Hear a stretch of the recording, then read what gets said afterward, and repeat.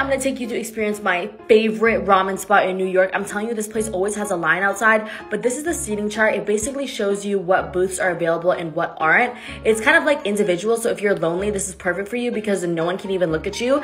And you sit down, you fill out this little menu, and then they come check it, and boom, they give you your ramen. You don't even have to talk to anybody. So if you have a high anxiety and hate talking to people, this is perfect for you.